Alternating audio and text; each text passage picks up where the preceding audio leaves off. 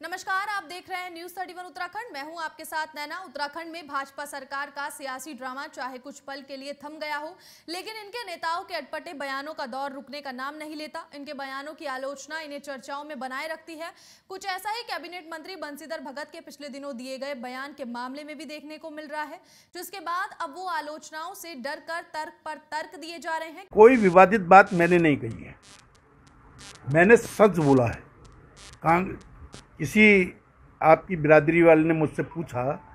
उसने कहा कि कांग्रेस वाले कह रहे तीन विधा- मुख्यमंत्री बदल दिए, इससे भाजपा की किरकिरी हो रही है। मैंने उनसे कहा कि पार्टी हमारी, हमारा परिवार, हम एक बदलें या दस, इससे मतलब नहीं होना चाहिए कांग्रेस को।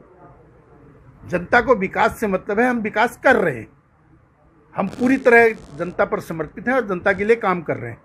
अब इस पर उन्होंने उसको तरोड़ मरोड़ के लिखा है कि भगत जी ने कहा कि हम कितने मुख्यमंत्री बदलें, इससे जनता को कोई लेना देना ये मैंने नहीं कहा।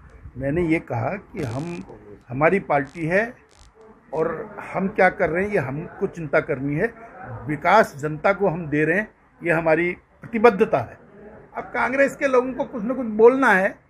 किसी पत्रकार ने वास्तविकता यह है कि मुझसे कुछ मांग की थी मैंने वो उसको मांग को पूरा नहीं किया, इसलिए उसने तरोड़ मरोड़ के उसको ऐसा किया।